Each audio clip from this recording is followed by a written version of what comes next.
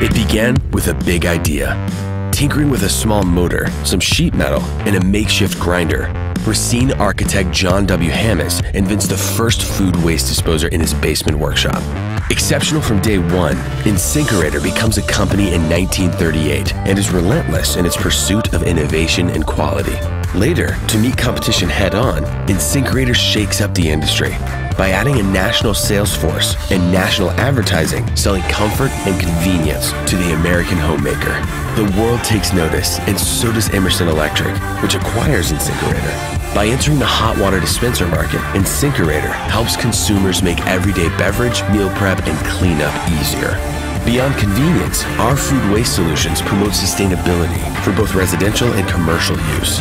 Food waste can be converted to renewable energy and fertilizer to grow more food. InSinkErator is still making the best garbage disposals in the world, right here in southeastern Wisconsin. With 1,400 employees worldwide, we owe our success to their dedication and teamwork. Unprecedented growth and investment mean a new headquarters and state-of-the-art labs for them to create, explore, and experiment. The new facility represents so much more to Emerson and InSinkErator than the building itself. A tribute to innovation, our new headquarters is now open to the next generation of visionaries and makers. Let the countdown to the next 80 years of innovation begin.